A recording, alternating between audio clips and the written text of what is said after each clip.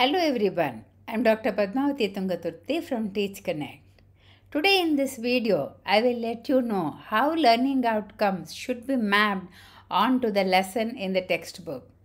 Normally, there is a tendency for us to go lesson by lesson and see that we create aims of the lesson to be delivered. Now, it is more of student centered learning. That is why we work on the learning outcome, how it is written.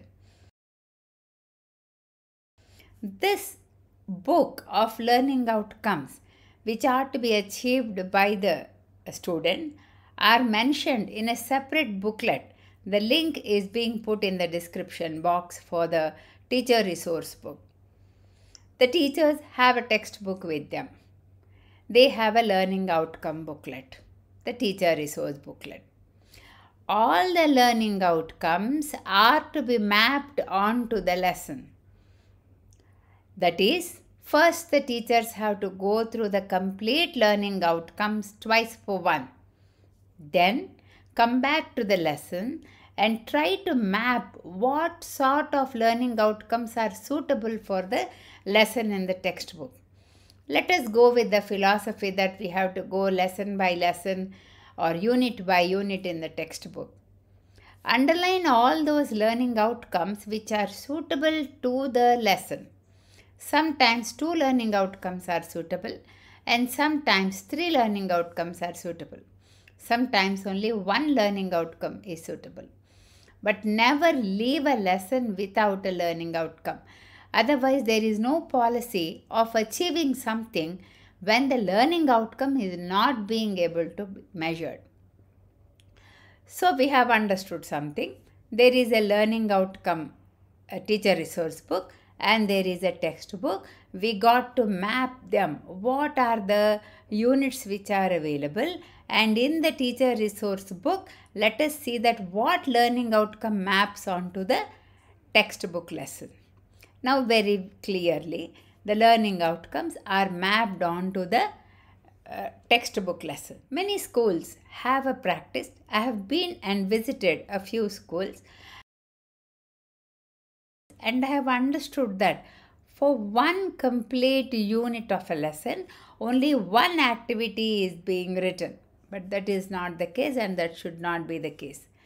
Every learning outcome which we have mapped onto the textbook should be broken down into specific learning outcome for the goal to be achieved. That means smaller goal 1, smaller goal 2, smaller goal 3 will lead to the major learning outcome.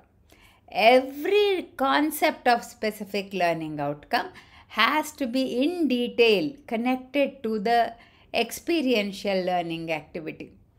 There are many pedagogical strategies, but let us now consider experiential learning factors.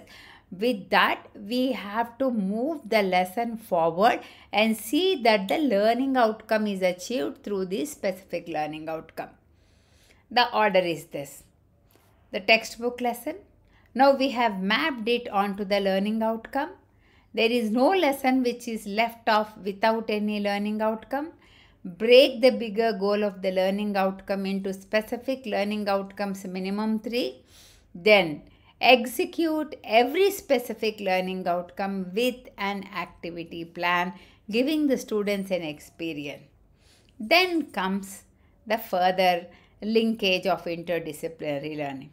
That is how we need to move the lesson from the learning outcome to the experiential learning activity this is only a part of the lesson plan which we have to consider. The rest of the lesson plan I will explain to you in the next video. Thanks for watching. Otherwise, if I continue the complete lesson plan techniques in the same video, it might be overwhelming for a few teachers. So, this video consists of a small unit of the lesson plan making given by the CBSE norms as per the National Education Policy, we continue with learning outcomes, mapping onto the textbook is a priority. But for now, for this academic year, let us map the learning outcome, match it with the textbook lesson, make specific learning outcome and create an activity for this.